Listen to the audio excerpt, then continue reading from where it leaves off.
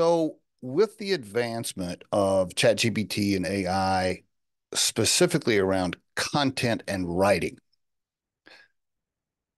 most everybody is going to, or already is, using it for their resume, cover letters, updating their LinkedIn profile, etc.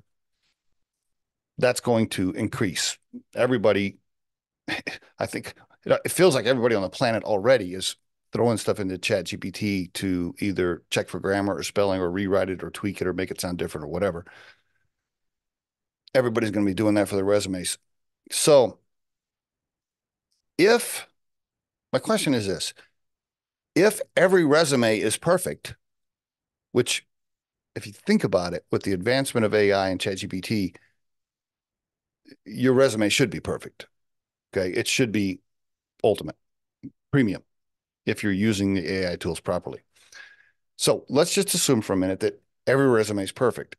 Now, in the old days, last year,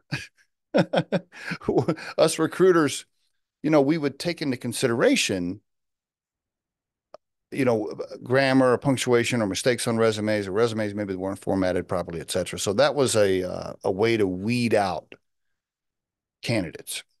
Employers do the same thing. Well, that step, okay, that that weed out stage should change, will change because you're going to have AI tools to create the perfect document or the perfect paper, or you should anyway.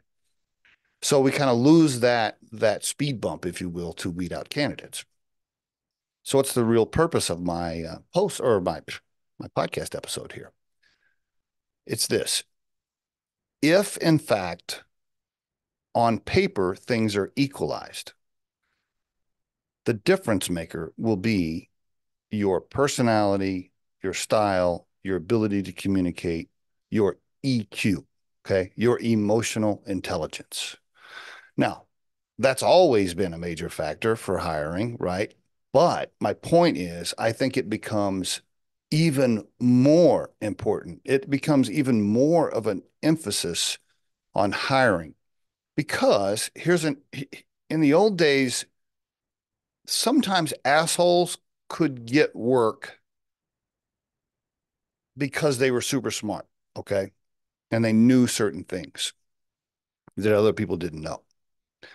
Well if ChatGPT and AI are the are level the playing field when it comes to IQ okay let's and it already is okay all you got to be able to do is ask the right question if ChatGPT levels the playing field with writing skills and IQ and smarts and knowing things, then the people that have the high EQ and, and the best people skills, they are the ones that stay employed, get promotions, etc.